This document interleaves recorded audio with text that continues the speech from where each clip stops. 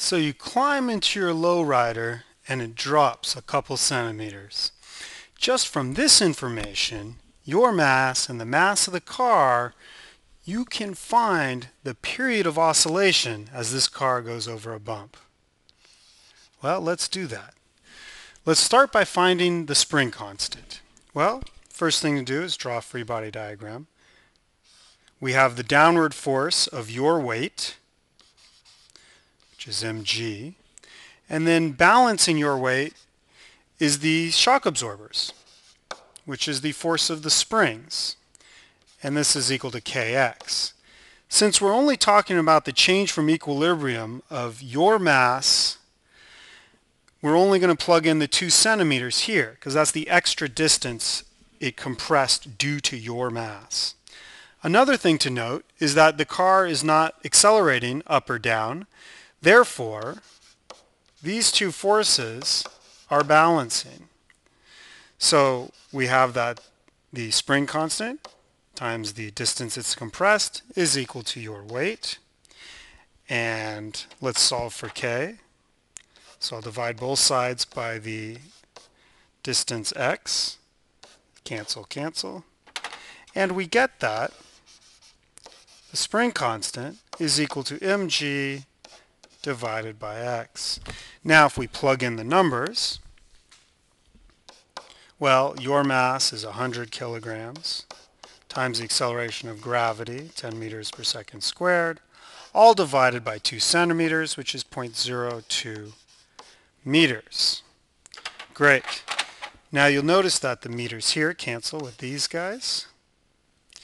And what we're left with then is that K is equal to 50,000 Newton meters.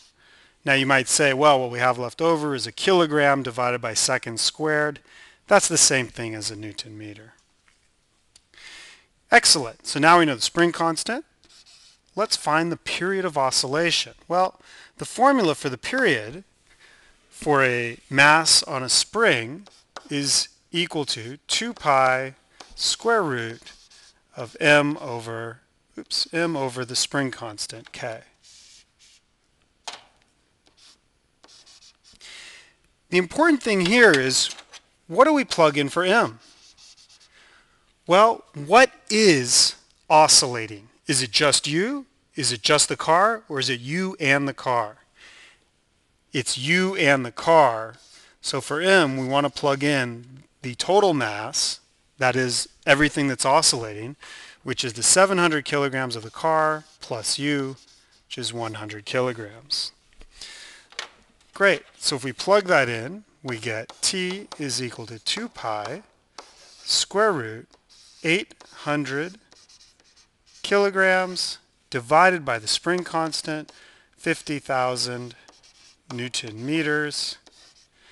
And if you work that out, you get a period of oscillation of 0.79 seconds, which for when we do the graph, we'll call 0.8 seconds. Before we do the graph, let's talk about how I got these units of seconds. And let me pull out a scratch paper for this. Well, what did we have? We had the square root. On top we had kilograms, and on the bottom we had a Newton meter. Okay, so first thing is the meters pop up top, so you have a kilogram meter over a Newton. And we know by definition a Newton is a kilogram meter per second squared. So if we plug that in, then we get square root of kilogram meters divided by a kilogram meter all over a second squared. So there's our complex fraction. Well, if we flip this complex fraction, we have a kilogram meter all over 1 times a second squared over a kilogram meter. And you can see these guys cancel. And then we just have square root of second squared, which is a second. So indeed, we get units of seconds. And now all that's left to do is to sketch the graph. and I we want to include the effects of damping. Well, what that's going to do is lower the amplitude over time. So here's our time, and we can, this is some distance axis. I'll just label it x. And it starts off here at uh, 0.2, sorry, 0.02. So I'll put a negative 0.02 meters, and then it comes up.